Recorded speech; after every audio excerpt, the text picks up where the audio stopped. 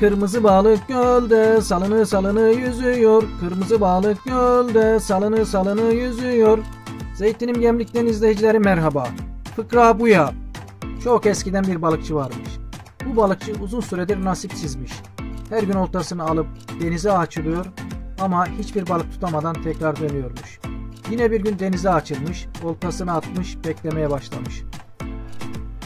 Oltasını çekmiş tekrar atmış, oradan çekmiş diğer tarafa atmış ama maalesef yine balık yokmuş. Akşama doğru oltasının ipi hızla denizin dibine doğru çekilmiş.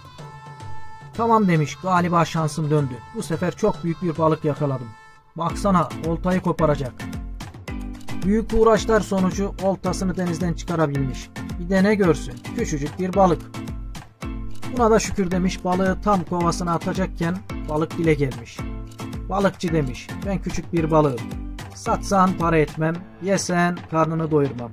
En iyisi sen beni bırak da gideyim demiş. Balıkçı balığın konuşmasına şaşırmış.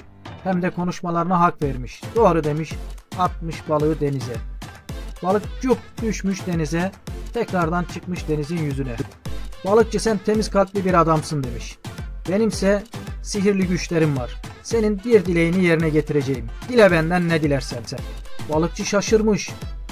Hiç beklemediği bir teklifle karşılaşınca ne isteyeceğini bilememiş. Dünyadaki kıtaları bir araya getir. Tüm kara parçaları beraber olsun demiş. Balık demiş ki bir isteğini yerine getireceğim ama o kadar da değil. Kıtaları ben nasıl birleştireyim? Başka bir istek iste. Balıkçı düşünmüş düşünmüş aklına da bir şey gelmemiş.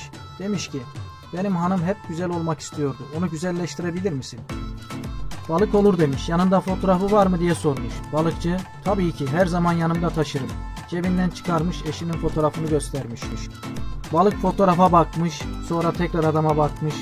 Fotoğrafa bakmış, tekrar adama bakmış ve demiş ki sen en iyisi şu dünya haritasını getir. Yayınımızı beğendiyseniz beğen tuşuna basıp kanalımıza abone olur ve paylaşırsanız mutlu oluruz. Yeni yayınlarımızdan haberdar olmak için bildirimlerinizi açabilirsiniz. Hoşçakalın.